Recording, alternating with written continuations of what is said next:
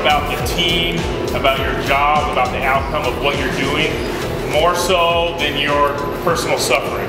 That's prey drive. When you're trying to be efficient, what's my job? Give it to me. I want to accomplish it the best that I can. Stop thinking about you. What do we got to do next? Let's do it efficiently. Here's a pile of shit. We need to move it. We don't have time to stop and lean on our shovel. We got to get going. This is Dan Ioli. He's going to talk to you a little bit about what prey drive means to him, how it translates to the fire department. So, Dan Ioli. Now, prey drive to me about working in a group. And it's getting hard. And your crew is sluggish. We're all tired, right? And fatigue will make cowards of us all. You grab a hold of yourself and you say, okay, I found you. Not today. Today is my day to be the better person. And you keep pushing that. Let's do better. Right? We're fucking working our asses off and it is not going. We got a bunch of shit to do. I'm gonna outwork you today. If he can do it, I can do it. If she can do it, I can do it. Feel every single inch of work that you do, every breath that you take, every sweat bead that drops off your face, you will feel it and it will kill you. And it'll hurt. Might get five more reps, right? But you stop, you take two more breaths, guess what? That person is still there.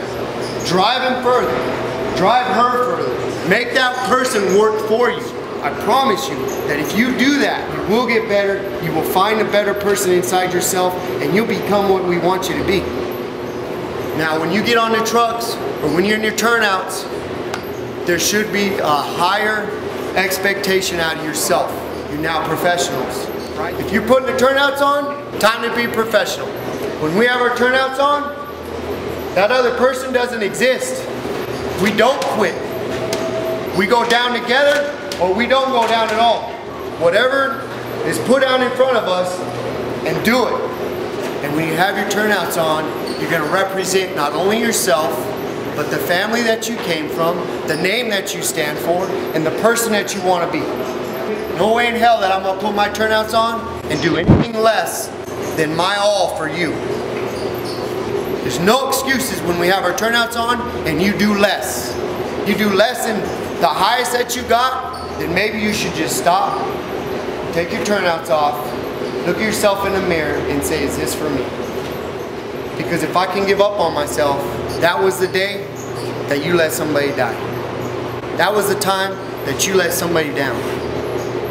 And you let somebody else take your slack. I get it. I get it, right? We're not just born badass and rock. I'm not that guy.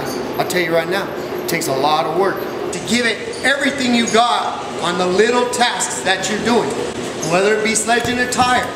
If you're gonna hit that tire, drive it. Take that opportunity so you can hit it. And you can show them that you wanna be there. Show your crew that you wanna be there and you wanna earn your spot. That you wanna earn your keep. If you're doing the axes, you're not digging in and you're not driving in, like you should and you're not giving it everything you got, that's the day he beats you. It's not when one big moment that beats us. It's all these little moments that stack up.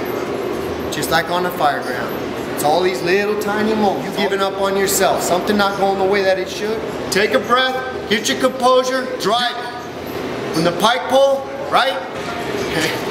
How many of you guys like that pike pole? That motherfucker, he kicking my ass, right? But hey, I like that thing because it shows me where I need to be. Some of us, we're not we're not built to just drive it through and yank it down, right? I don't know how those guys do that. That's badass. But listen, what we are made of, not quitting. So you take that hit, you're driving that pike pole, you hit it, hit it, hit it. Oh shit, nothing's happening.